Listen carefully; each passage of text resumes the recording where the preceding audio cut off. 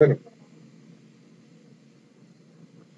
por último vamos a explicar el uso de archivos OBJ dentro de, los proyectos, dentro de nuestros proyectos tridimensionales, que es, importante incluir algunos objetos ya prediseñados, ya que Processing solo me permite utilizar lo que es la esfera y, el cubo.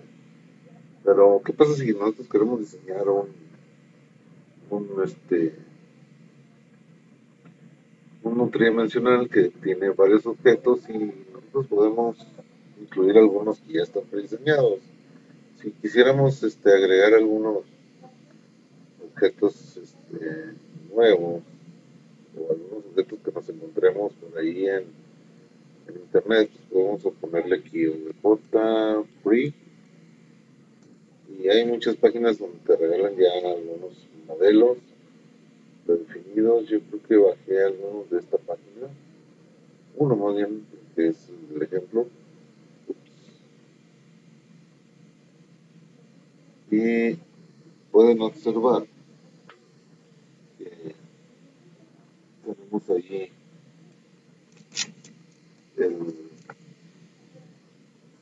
pues una lista considerable de, de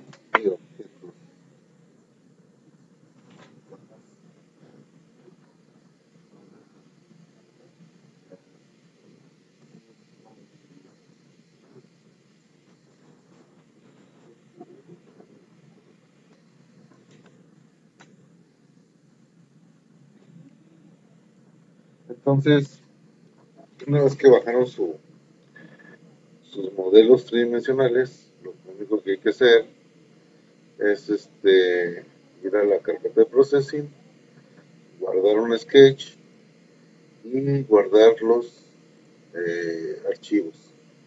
Realmente lo único que vamos a hacer es que nada más se va a leer el OBJ, el archivo OBJ que es el que vamos a mandar a llamar. Eh, para mi gusto no es muy eh, considerable que se utilice el nombre del archivo sin espacio, pero pues en esta ocasión lo dejé así por motivos de rapidez.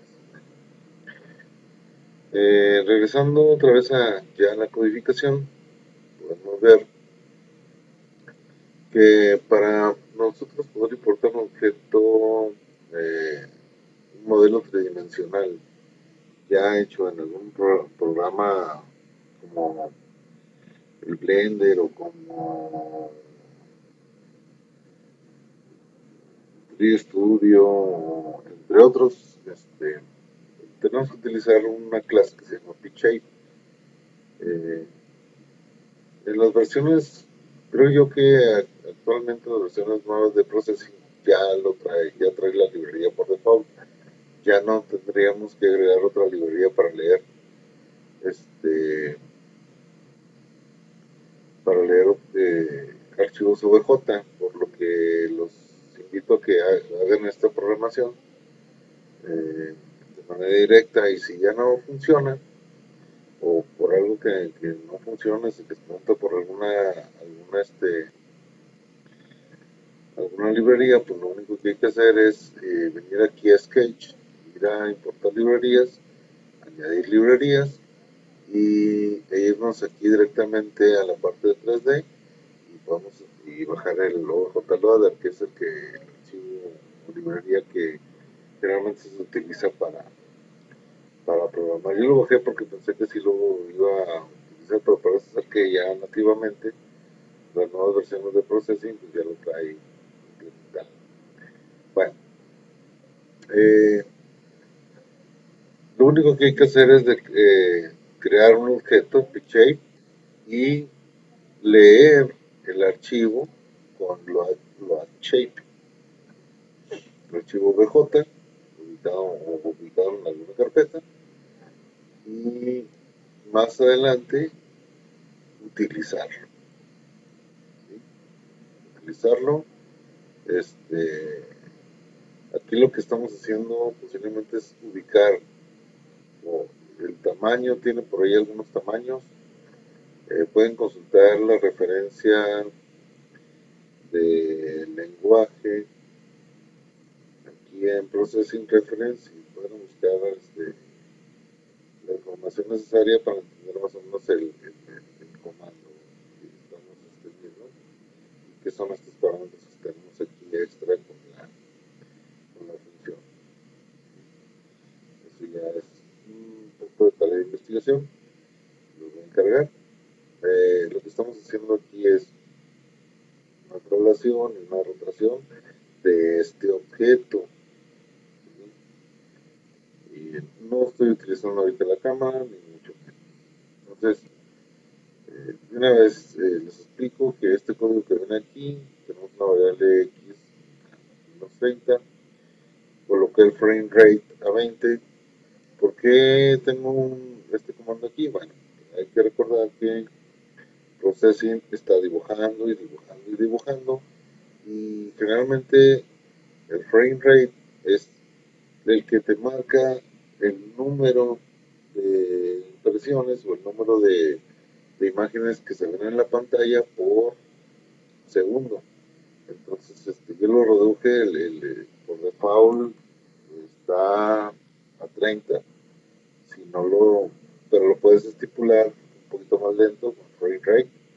Y ya con eso es un preámbulo para, para hablar un poquito de que puedes crear un video eh, generando todas las imágenes y después este, editándolo por ahí.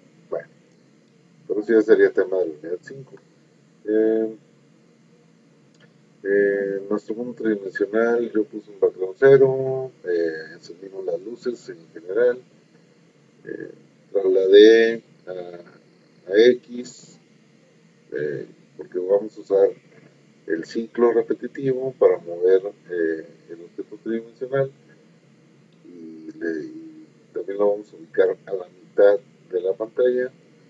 Utilizo un rotate en, X para ir moviendo y ya lo, ya lo graficamos y utilizamos aquí un if. Este, bueno, incrementamos el valor de X para que se vaya moviendo píxel por píxel. Utilizamos un if para saber si ya nos acabamos los píxeles de la pantalla y regresar su valor a menos 30 para crear un efecto de animación. Vamos a correrlo.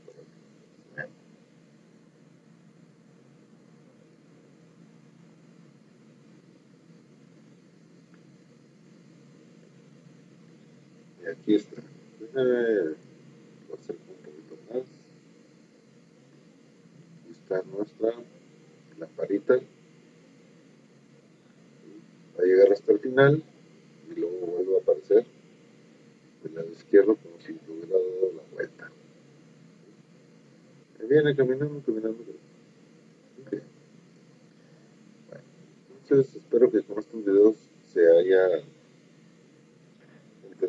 qué es lo que vamos a, utilizar para eh, nuestro proyecto de la próxima semana. Buen fin